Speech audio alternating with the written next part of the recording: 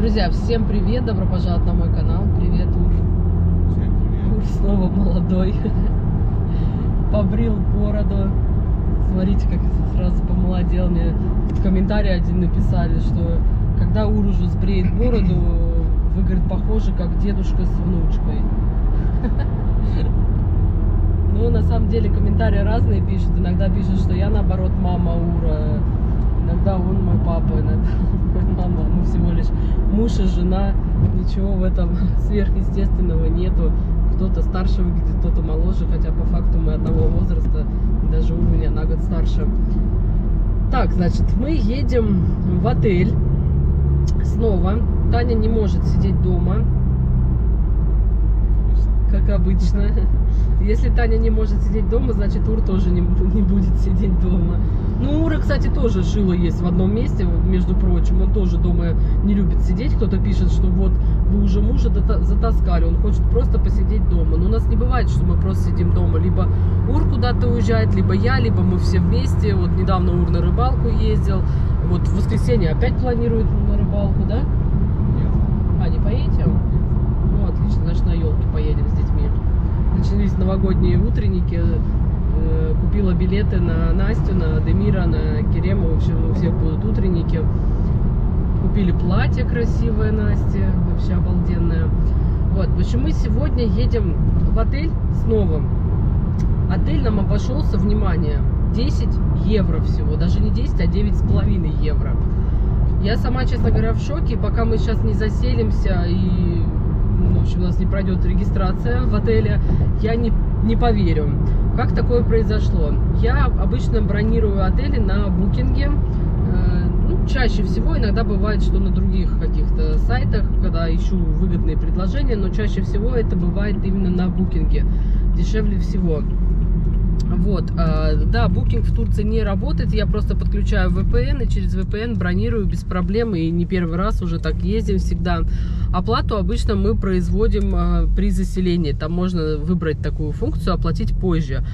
И обычно я всегда так выбираю, оплатить позже, и по факту уже, когда мы приезжаем в отель, я оплачиваю. Подсоединена у меня туда российская карта, и, естественно, с нее деньги никогда не списывают, потому что она не работает в Турции и вообще, наверное, ни в каких странах российские карты не работают. Вот, э, она у меня просто подключена уже давным-давно там, и я всегда там бронирую.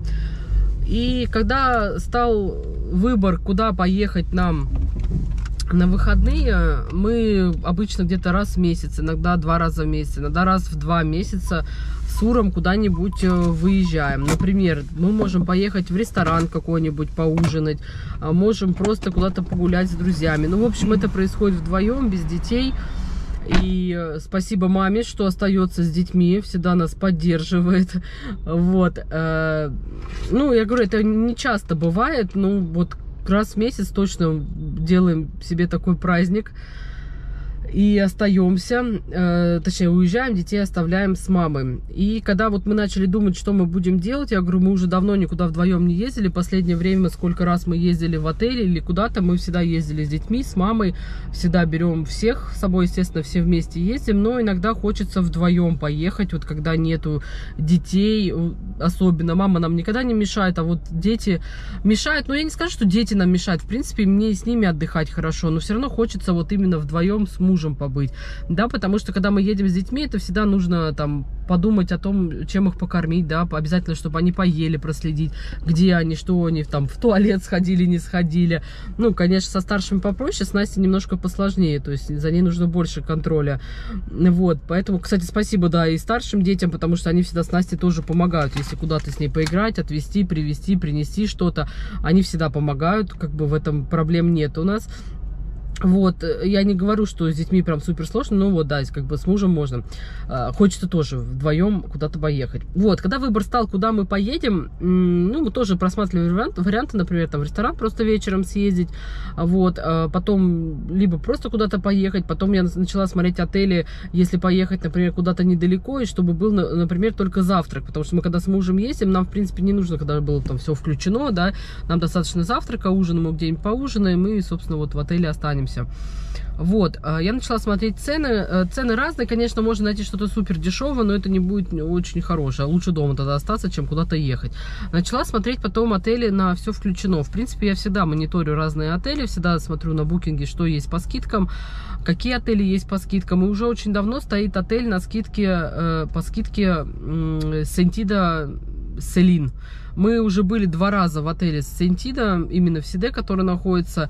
Один раз мы были с Сентида э, какой мы были? Вот в Селин мы были первый раз, потом летом мы приезжали, а второй раз мы были с Сентида он тоже там рядом, в общем, они там, территория отеля большая, кто у меня не смотрел видео, вот расскажу, там три отеля на территории. Отель неплохой, это пятерка, все включено, но он, ну, не прям супер-пупер такой крутой отель, ну, нормально, твердая пятерочка. Э, и почему-то зимой в него очень дешево. Ну, наверное, потому что нету людей, нет никого, кто приедет, поэтому цены супер низкие. И на двоих на выходные получается, ну, на одну ночь, да, там получается два дня, э, стоит полторы тысячи лир. Э, я скажу в рублях, чтобы вы понимали, это около пяти тысяч рублей. И там в евро, да, 50 евро он стоит. Примерно, плюс-минус. Я считаю, что это очень дешево, потому что 50 евро, да, что такое полторы тысячи лир? Вот просто пойти где-то поужинать в ресторан, это будет минимум тысячи лир. Минимум, без каких-то там, например, алкогольных напитков, да, если дополнительно еще брать, это будет полторы-две тысячи лир как минимум сходить просто вечером в ресторан. А тут получается отель, все включено, то есть у тебя завтрак, обед, ужин, а, напитки все бесплатно, а, и плюс ты еще там спишь, да, грубо говоря. А, и все это стоит полторы тысячи лир. Как бы я так подумала, что ну очень дешево получается, почему бы нам его не забронировать. Предложила Уру, он сказал, да, конечно.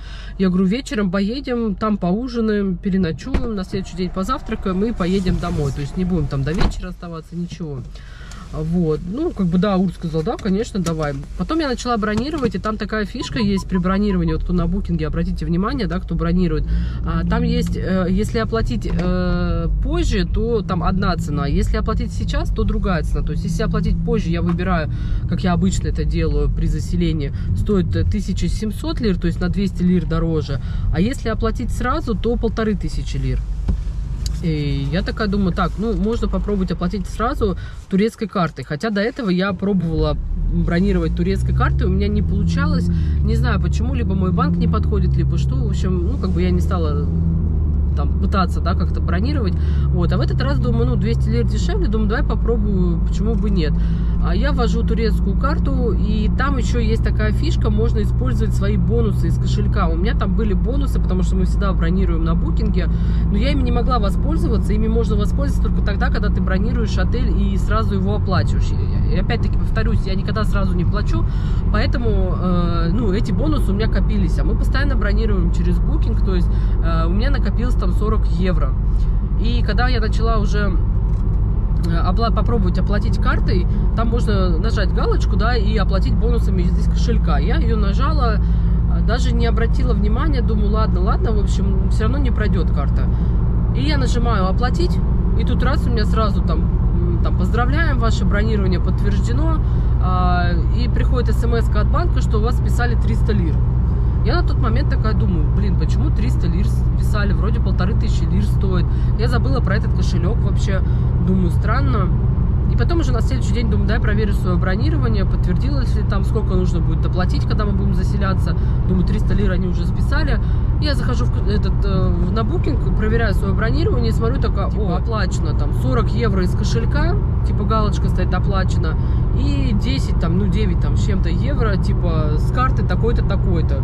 Я начинаю считать, то есть 10 евро, это как раз и получается около 300 лир, там 306 лир, ну что-то с копейкой вообще, плюс-минус.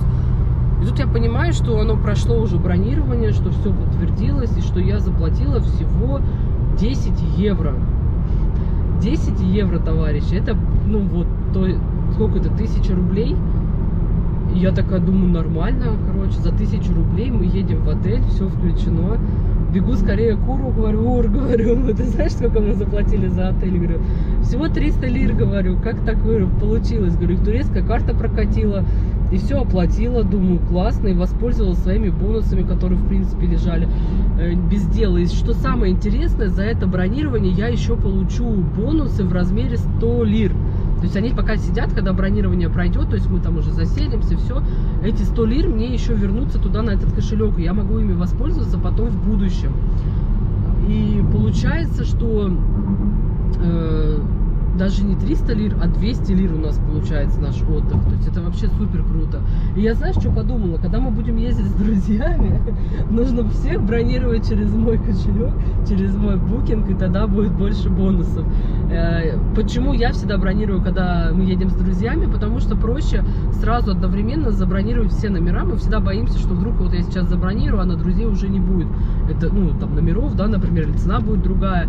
У меня э, букинг уже третьего уровня, там есть много-много всяких скидок, каких-то там э, бонусов, да, и у меня уже третий уровень, у меня обычно всегда получается дешевле. В общем, мы такие довольные, счастливые, я говорю, классно вообще так получилось. Но я говорю, пока мы не заселимся и нам не скажут, что у нас все подтверждено, все хорошо, я не поверю, наверное. Но все равно прикольно получается. Поэтому я вот как бы советую.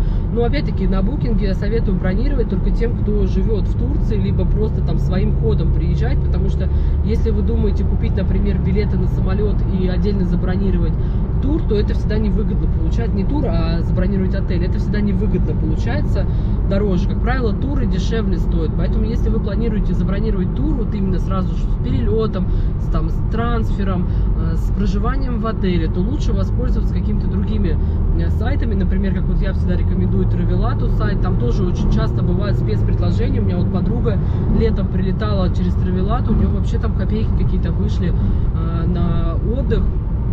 И тоже надо отслеживать всегда, что какие есть предложения, со скидками какие есть. А, и можно ну, забронировать реально очень дешево. Вот так же, как и мы сейчас, например, в отель, да, мы были недавно в Мега Сарай отеле, мы за день платили 3000 лир, сейчас же мы приедем полторы тысячи лир всего стоит отдых. Ну, у нас он еще дешевле получается. Я не знаю, что там поменяли. Нам отель тогда, в принципе, понравился. Он был неплохой. Были, ну, небольшие минусы. Ну, наверное, зимой там вообще как-то все супер плохо, наверное, я не знаю. Но я всегда, когда еду в какой-то отель, я всегда готовлюсь к худшему, чтобы потом, наоборот, сказать, что вау, тут так хорошо на самом деле.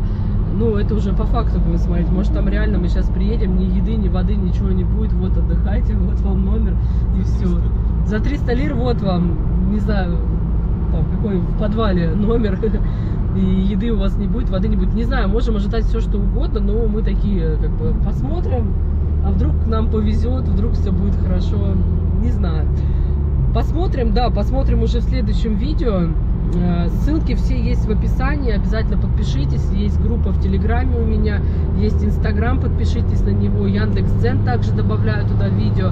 На бронирование турпутевок тоже у меня есть э, ссылки. Все в описании есть, подписывайтесь, буду очень рада, пишите ваши комментарии. Будем ждать следующее видео, что нас ждет в отеле. Всем пока-пока.